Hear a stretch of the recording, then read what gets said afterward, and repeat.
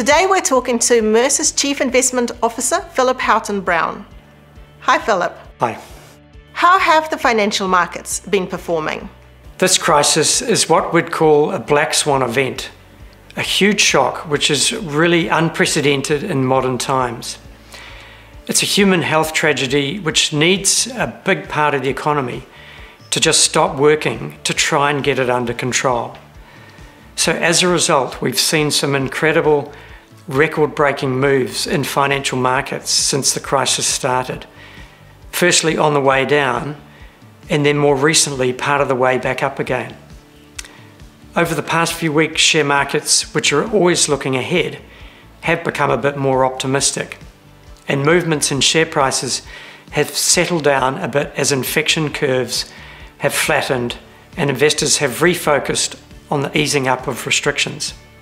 How does this compare to previous market shocks and other periods of increased volatility? This shock is different from many others because it's disrupted three things all at the same time. Firstly, the supply of goods and services, because factories and shops and restaurants have been closed. Secondly, the demand for goods and services as people have had to stay home, maybe have reduced incomes, or just want to save more as a precaution. And thirdly, the impact on financial markets, which was made worse by the collapse in oil prices. Now, shocks usually impact one or two of these things, but not all three at the same time, and certainly not as abruptly. What have governments around the world done to help their economies? So, both governments and central banks have acted quickly to try and counter the impacts of the shock and provide a bridge uh, through to the eventual recovery. And they've done it in a way more quickly than the financial crisis a decade ago. Governments around the world are supporting businesses, jobs, and incomes with a range of packages, including wage subsidies and loans. Central banks, including the Reserve Bank, have cut interest rates and are buying huge quantities of bonds issued by governments and other borrowers. This will help keep interest rates low and allow governments and businesses to borrow more. Now, all of this extra debt will, however, present challenges down the road because eventually it has to be repaid. But for now, it's absolutely necessary to support the economy. And what can we expect next in the short, medium, and the long term? So, we really don't know yet how long it's going to take to get back to normality. And some things just won't go back to the way they were before.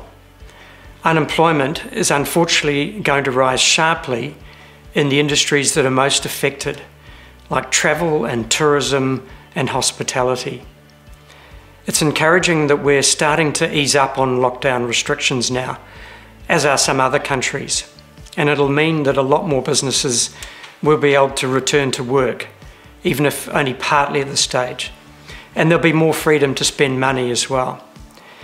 But the reality is, is that it's going to take some time for confidence and economic activity to pick up.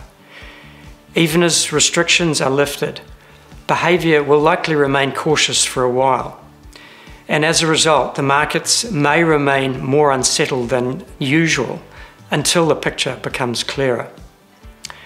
On the positive side, some good things will come out of this, such as a wave of innovation and increased productivity through the, uh, the increased use of technology as well as a, a greater focus on business resilience and sustainability. We've seen typically defensive assets such as infrastructure and property being significantly impacted by the measures taken by many governments and businesses to contain the spread of the virus. Why is that? And what's the outlook? That's right. Uh, it's because the purpose of many of those assets uh, is to bring people together or to enable them to travel. And this has, of course, come to a halt. Shopping centres and offices and airports and toll roads uh, have all seen a dramatic reduction in activity. Other areas, though, have on the other hand fared much better. Uh, for example, distribution warehouses, which are needed for online shopping, mobile towers and data centres, given the increased data traffic needed for video conferencing, uh, streaming movies, and gaming.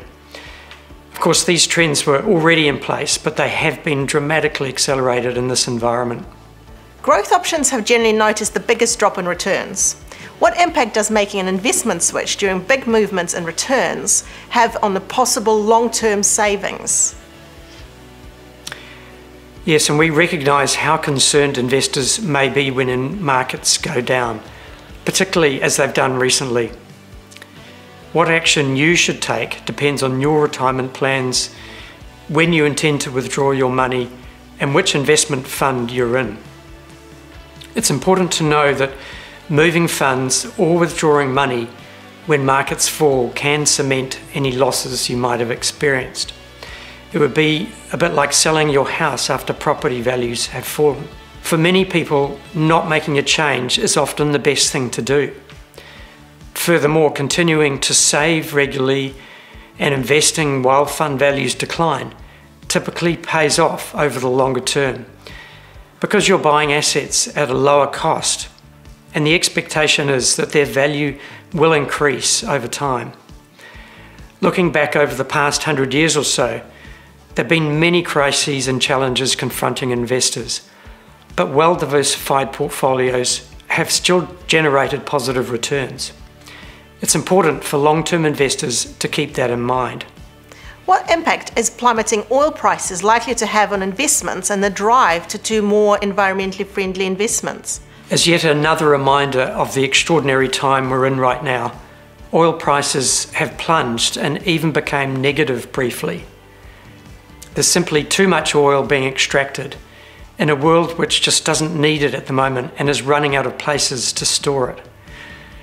Now, normally a lower oil price helps because it leaves us with more money to spend on other things.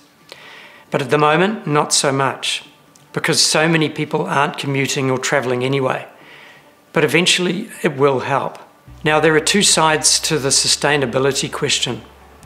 On the negative side, a low oil price unfortunately tends to discourage investment in green energies. And also, given the current health concerns, people may shy away from using public transport and rev revert back to using cars. But longer term, there will be positive environmental effects, including a drop in oil production and exploration, and more people continuing to work from home.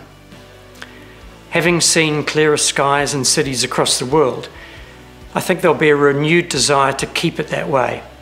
I'm optimistic that all these people and families out walking and running and cycling instead of driving will want to keep that going. More broadly, there will be a lot more interest in differentiating companies that build resilience across their entire value chain than, than those that don't. And as a result, you know, we believe the value of responsible investing is becoming increasingly clear and important.